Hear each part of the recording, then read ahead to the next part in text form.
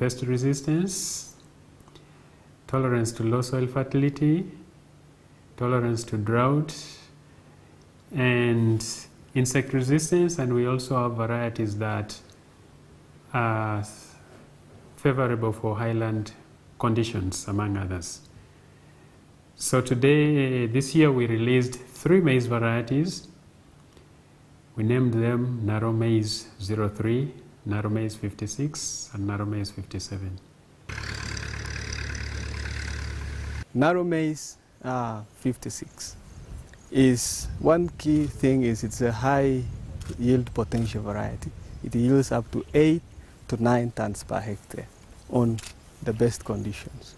Secondly, it is tolerant to the new disease in the region, that is maize lethal necrosis. So we are going to use it as a flagship variety that can safeguard farmers out there as we do the more intense resistance breeding for the new variety, uh, varieties. Um, it matures between 130 to 135 days from planting and flowers around half of that. That is about 66 uh, days. So it's a little bit uh, later maturing. NARO Maize 03 is resistant to a number of diseases that affect maize in the country.